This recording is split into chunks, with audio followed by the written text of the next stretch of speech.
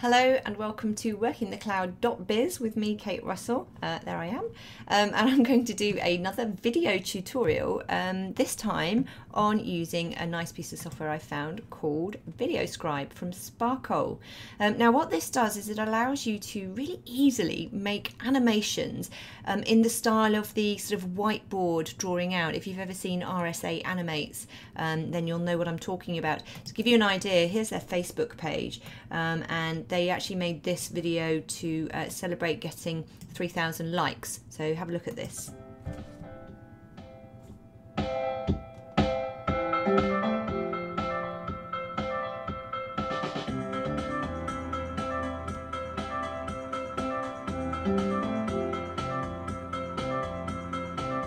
So you can see, very simple, uh, very easy to do as well. And um, to prove it, I'm going to make one now for you. Um, so let's just quickly have a look. Um, the pricing, so it is a download, it's a desktop download, and um, you can um, uh, try it out for 30 days free uh, with a sort of cut down library of images and stuff. Um, but here you'll see uh, that it's actually reasonably priced, £16 a month uh, or £120 a year plus VAT. Now, to put that in perspective, I was speaking to a company the other day who had had a, a flash animation made for a particular client's uh, personalize a, a, project for a client, and um, they'd paid fifteen hundred pounds, and they actually weren't even that happy with what was returned. So this software, they said, well, we could we could just make our own, and we can personalize uh, pictures to clients and embed the video because you then upload it onto YouTube or, or download it as a video to sort of play off your hard drive. So it's a really nice piece of software, really well priced, um, considering the power of what you can do with it. So we'll have a look. VideoScribe, I've already downloaded it. It's on my desktop.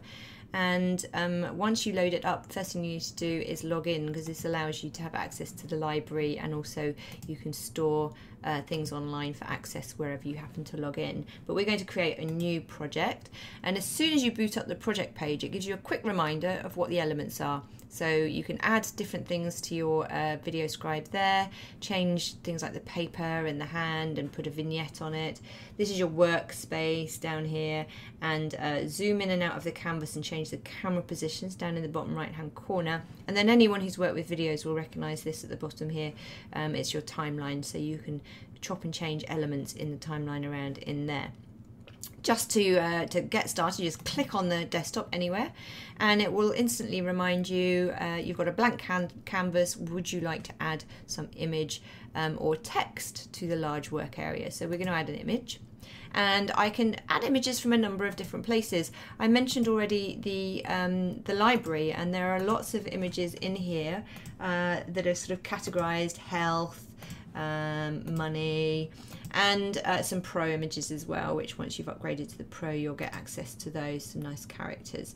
The thing about these images is they have all been uh, made to be optimized to work with the with the drawing animation style of this uh, particular package. So worth looking at those if you don't have your own images yet or you can make your own images and then uh, you can get them from the web. Just pop in the URL you can upload them to Dropbox and it's integrated with Dropbox. So you link your Dropbox account. Um, I'm just going to grab them off my computer actually. So click on my computer, click on the desktop. I've already put a folder there, VideoScribe Elements, and um, I'm going to use my logo. So use that image and it loads it up here into the system. Now you can see here on the right hand side I've got some sliders.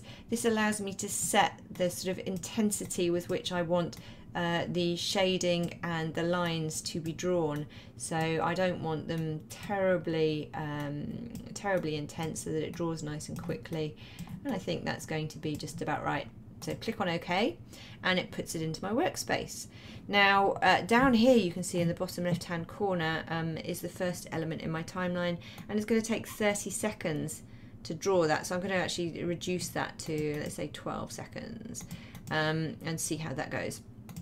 So um, there are certain other things that you can change here as well. If you click on the thumbnail there, um, you access the uh, editing uh, options in terms of changing the different types of line. You can have a different hand um, or a different type of pencil. So um, I'm just going to close that down now and use the standard.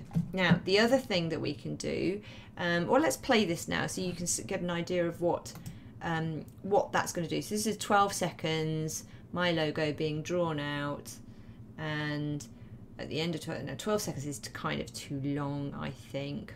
Um, so what is going to happen now? And it just zooms in a little bit. So there's two things I want to change now. First of all, I want to change the time. So I go back to the timeline, click on that thumbnail. It opens up the control.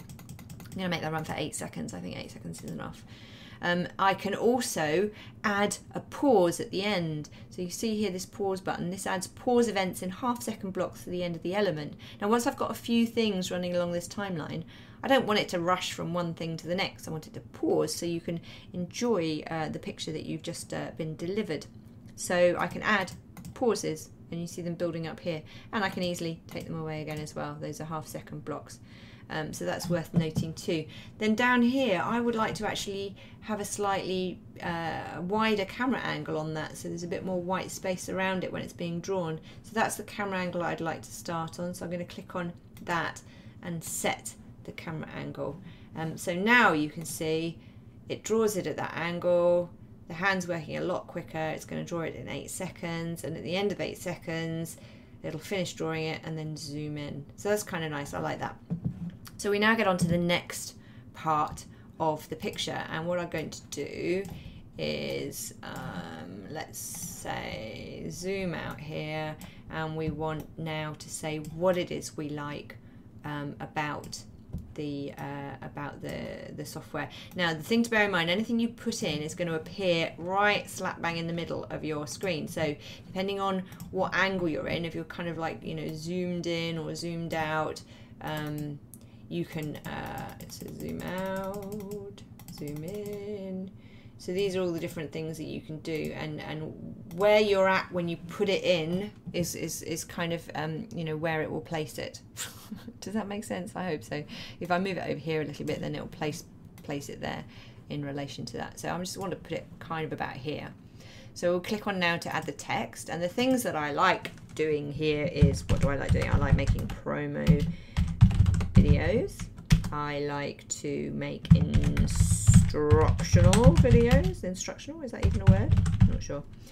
Um, instructional videos. Uh, invitations. How about that? That's a good idea, isn't it? If you've got a wedding invitation or a party invitation, you could actually send them one of these videos instead. Or you could even do a fun letter. Uh, you know, maybe put some photographs in um, and have the photographs drawn out and, and make a really nice slideshow of your photographs. So we click on OK and that's now put those texts in there. So I want to make them bigger, so I just grab that on the corner, perhaps make them bigger. I want to move it over a little bit, so I just pick it up anywhere, sort of, you know, anywhere in the box, not on this. If you if you click that one, then it will spin. And um, if you click these ones, then it will go in and out. But if you click anywhere else, then you should be able to move it around. So that's now that, and you can see here, it's given me as well the control. If my voice sounded a bit weird then, it's because I just had to pause the video and, and go and capture another wasp and get it out. It's just, oh, there's buzzing things just coming everywhere at the moment. Um, anyway, let's press on. So um, I can control now uh, how long I want that to take. So I'm going to make that just right. Let's say five seconds. I think that's going to be enough.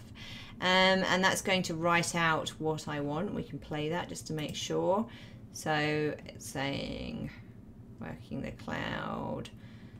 Yeah, that's going to write out like that. And then it will move in there and it will tell me what it is that I like doing with it. And then it goes back to the wide. Um, so the only other thing is I haven't put in here, which I should do, is I haven't put in uh, the VideoScribe logo. So I'm going to do that, I think, over here and again we go up to here put in the VideoScribe logo I've already got one of those that I've uh, made and again I can choose how detailed I want it to be, and I think that's probably enough. And oh, that's way too big. Um, so what I'm going to do is just shrink that down a little bit. And actually, you know what I might do? I might spin it around and have it like that. Um, so, VideoScribe. Um, oh, yeah. I think that will be good. So I am going to have that, see again it's 30 seconds, don't need it to be 30 seconds. We're going to have that running to about, uh, let's say six seconds.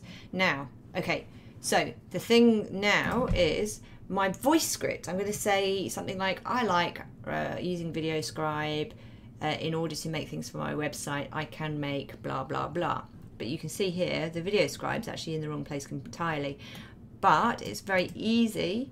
All I need to do is move it using that arrow. So I've moved it now to the beginning of the timeline. So now the timeline runs at VideoScribe for six seconds, my logo for eight seconds, and then the elements that I like doing with it for five seconds. So that's in there now and now we have a couple of elements that we can add uh, in terms of uh, audio so first of all a music track. There's loads of music tracks here for you to play with that are uh, in the system and presumably royalty free. Um, and um, uh, you can also add your own or pull something from the internet. So um, it's really up to you, and you can search this in a number of different ways. You can search by name, by length, or by um, mood.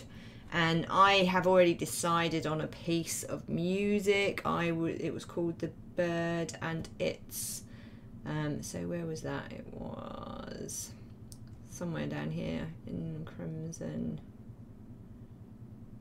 Well, okay, so I should actually search for it by name. And that will be element of P, Q, R, S, T, the bird and it, there it is. So uh, they're all pretty cheesy, the music. So I, have I've, I've uh, clicked on that piece of music and that's now added into my timeline. And now I can also add a voice. Um, so I'm going to click record and it asks me to uh, name my uh, uh, VideoScribe and save it. So I'm going to do this. Uh, this is our demo guide. Click on OK and it's you can ch change the different uh, inputs that you want. I'm using my Yeti microphone and then when I'm ready I can click record. So I'm going to click record and then record uh, you hear my coffee machine in the background? I'm going to wait for my coffee machine to finish cleaning itself and then I'm going to click record and I'm going to do my very quick voice that I have here's one I prepared earlier. So I like using VideoScribe it's a fun and easy animation tool from Sparkol that I can make videos for my website, workingthecloud.biz. With it, I can make promo videos, instructional videos, invitations, and even write a fun letter. So that's my recording done. And that's now in the system as well. Um, so let's have a quick look and see how all that held together because we may need to do some tweakage now that I've got my voice in there. I like using VideoScribe. It's a fun and easy animation tool from Sparkol that I can make videos for my website, workingthecloud.biz. With it, I can make promo videos, instructional videos, invitations,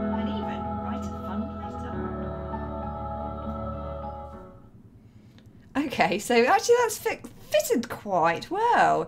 Um, but I think let's just um, maybe make that happen a little bit quicker so that we get on to uh, working the cloud and also I think I can probably reduce that by a second or two as well and let's see if that maybe fits all together. Now this is the only problem with this kind of piece of software, right? It's, it's a little bit clunky playing around with the sound. What it would be nice in a more professional piece of software, um, you could actually, you know, see the timeline and separate it out and cut things and place them where you want them. So uh, let's have a quick look at this. I like using VideoScribe. It's a fun and easy animation tool from Sparkol that I can make videos for my website, workingthecloud.biz. With it, I can make promo videos, instructional videos, invitations, and even...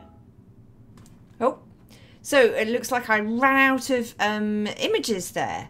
Um, so I just need to do a few more little tweaks. Um, I think I could probably actually let that go for one second longer, let that go for one second longer, and then maybe put uh, another half second pause after that.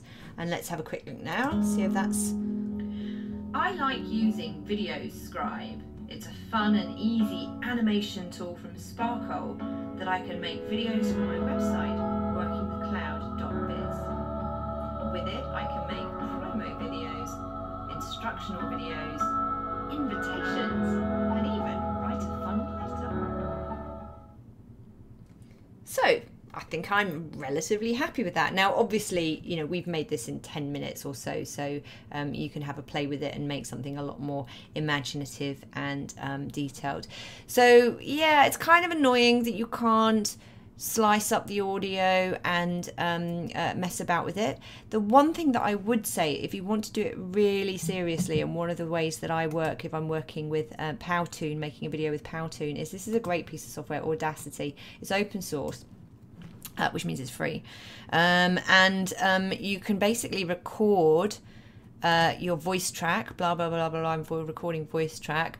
Press stop, and then I can actually import other tracks so I can uh, say okay I want to import some audio and I want to um, I don't know if I've got anything easily available. Um, so this is on the fly. I didn't didn't plan on doing this. So let's go to the music library sample music. So I can then put an audio track on there as well um, and I can put some sound effects. And now what I can do is I can actually start manipulating that and um, working with it um, to create a single audio track. And if you remember while you're making that, the timings on these, right? You've got five seconds um, and, and half second pauses. So if you use the timeline in Audacity to create a piece of uh, you know, lay voice track and sound effects down on a musical timeline using the seconds at the top here, um, then you can actually make something which fits your timeline. It's a little bit fiddly um, and it's not, you know, it's not professional, but you're not paying professional standard um, prices here either. So, you know, there's the rub. If you want something that's cheap and cheerful to use and looks very good, um, if you want to start getting technical with it, then you may have to um, have a little bit of a fiddle and a faff yourself. Um, but for me, for now, for, for what we want to achieve here, this is perfectly okay. And now I can save that and export it, create my video. I can choose a QuickTime, a ping sequence, a JPEG sequence, FLV, um, QuickTime movie. So I can choose what kind of output I want, and then you create your video. And once your video is created, then you can upload it to YouTube um, or put, you know embed it into your website or put it on Vimeo or any of the other um, sharing services. So it's a really super simple um, and brilliantly fun piece of software to use.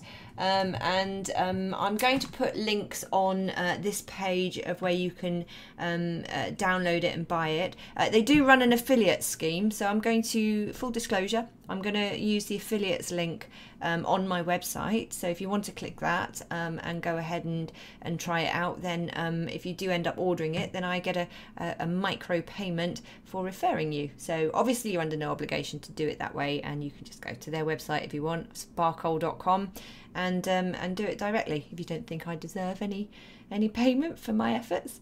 Um, so excellent. So I hope you've enjoyed that, and um, if you have any comments or thoughts, or indeed if you've posted, uh, if you make your own um, film and want to share it with me, then post it in the comments um, in this thread because um, it would be great to start having some comments and having people um, uh, feeding back what they've been doing. And hey, it's a good chance for you to promote your own business in a in a non-promotional way as well. So.